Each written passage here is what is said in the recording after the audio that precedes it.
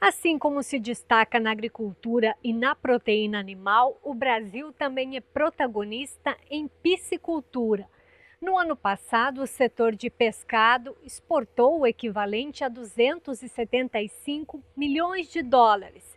E agora o setor também faz parte do Programa Nacional de Bioinsumos. A piscicultura cresceu quase 5% no ano passado com 758 mil toneladas produzidas. A tilápia é a principal espécie, representando 57% de toda a piscicultura no Brasil. Foram 432 mil toneladas do peixe, mantendo o país como o quarto maior produtor de tilápia do mundo.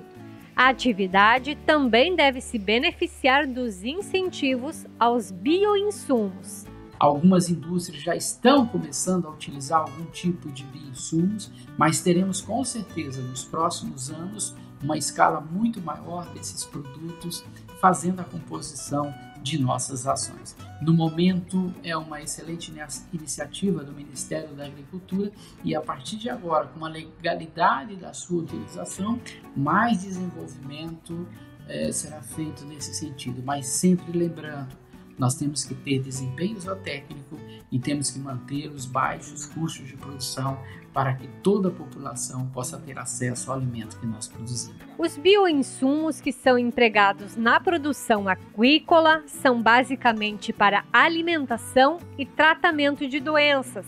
A medida promete impulsionar ainda mais o setor. Essa é uma tendência mundial, ou seja, a sociedade pede que os produtos que utilizemos para alimentar os peixes sejam o mais natural possível.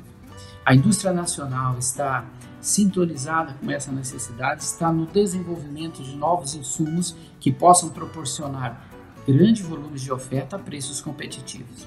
Isso é fundamental porque nós produzimos peixe para todas as classes sociais.